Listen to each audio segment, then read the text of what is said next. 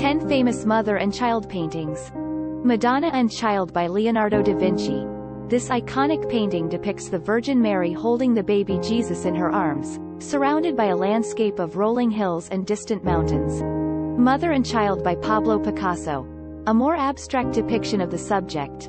This painting shows a mother and child with bold lines and shapes, conveying the bond between them. Mother and Child by Mary Cassatt. Known for her paintings of mothers and children, Cassatt's work often depicts intimate moments between mother and child, as in this painting of a mother holding her sleeping child. The Virgin and Child by Raphael, a Renaissance masterpiece. This painting shows the Virgin Mary holding the infant Jesus in her arms, with a sense of calm and serenity. Mother and Child by Gustav Klimt, an ornate and beautiful painting. Klimt's Mother and Child depicts a mother and child surrounded by decorative patterns and shapes. Madonna and Child by Sandro Botticelli. Another iconic depiction of the Virgin Mary and baby Jesus. This painting shows the Madonna with a serene expression and the baby Jesus reaching out to touch her.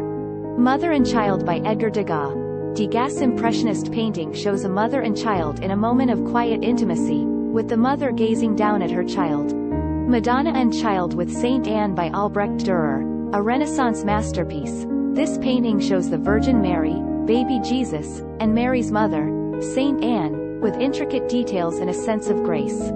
Maternité by Georges Seurat, a pointillist painting. Maternité depicts a mother and child in a pastoral landscape, with dots of color creating a sense of light and atmosphere. Madonna and Child with Angels by Fra Angelico, a beautiful painting from the Italian Renaissance. This work shows the Madonna and baby Jesus surrounded by angels, with a sense of radiance and divine grace.